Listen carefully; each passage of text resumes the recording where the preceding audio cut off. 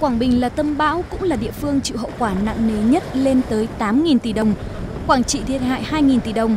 Nghệ An dù không nằm trong vùng bão số 10 càn quét mạnh, nhưng vỡ đập hồ chứa và xả lũ gây ngập cũng khiến tỉnh này thiệt hại gần 1.300 tỷ đồng.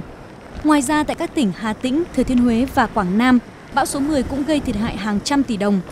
Hậu quả này vượt xa so với cơn bão Sơn Tinh, cơn bão đổ bộ vào các tỉnh Bắc Trung Bộ và Bắc Bộ vào tháng 10 năm 2012. Cơn bão Sơn Tinh bất ngờ tăng lên cấp 14 khi vào bờ biển và sau đó được nhận định rằng không đài nào dự báo được sự phức tạp của nó. Song thiệt hại của cơn bão này là chỉ khoảng 7.500 tỷ đồng. Trước đó, những cơn bão mạnh từng đổ bộ vào giải đất miền Trung như bão Sanse và bão Chanchu năm 2006, mất mát về tài sản cũng không lớn bằng. Trong đó thiệt hại do cơn bão Sanse là khoảng 10.150 tỷ đồng.